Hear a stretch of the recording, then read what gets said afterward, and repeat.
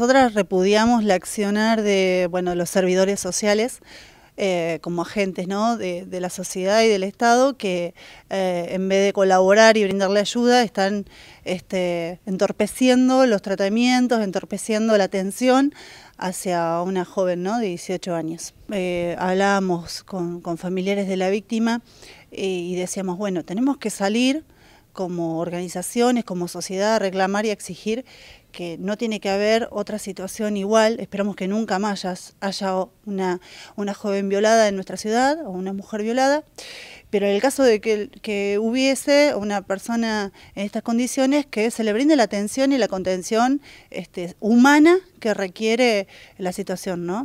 La asistencia a la víctima ha dejado muchísimo que desear muchísimo, eh, desde la policía, el médico forense que la atendió, el ginecólogo que se negó a atenderla, nadie le, brindó información ni a la víctima ni a sus familiares de cómo asistirla. Eh, en una segunda visita en el hospital, recién eh, una médica fue la que se tomó el tiempo necesario para poder explicarle todas muchas cuestiones que la víctima debe saber y que no tenía conocimiento. Ustedes en el comunicado piden capacitaciones para los servidores públicos para que puedan atender este tipo de casos.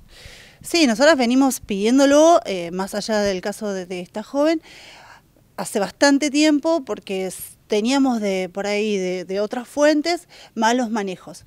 Con toda la movida que se viene haciendo a nivel nacional, a nivel latinoamericano, eh, con perspectiva de género, con este, viéndonos a las mujeres de otro lugar, pensábamos que los profesionales o el personal o los agentes sociales deberían o estaban actuando de otra manera. Hoy nos encontramos que la realidad es otra, que, que siguen habiendo malos tratos, que no sigue habiendo perspectiva de género, que no sigue habiendo perspectiva de sujeto.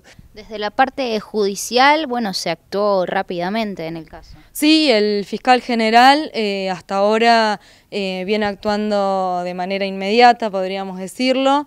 Eh, se le dio arresto al abusador enseguida. Tenemos entendido que el abogado defensor del abusador pidió el arresto domiciliario y es una de las cosas que no vamos a permitir. Vamos a ir contra esto y contra lo que tengamos que ir. No vamos a permitir que esta persona tenga arresto domiciliario. Lo que llama mucho la atención es el accionar que tuvo la mujer policía, bueno, cuando llegó al lugar de los hechos. Sí, tal cual. Eh, en la entrevista que tuvimos con la familia de la víctima, eh, su amiga, que era quien la acompañaba, eh, nos comentó que para ella fue un segundo de tranquilidad cuando vieron que la policía estaba llegando, obviamente pensando que las iba a ayudar, y bueno, fue todo lo contrario. ante el pedido de ayuda de, la joven y su amiga que la habían violado, terminan revisándola, haciendo una requisa, este, muchísimos malos tratos. Hubo manejos malos desde el comienzo, desde el minuto cero.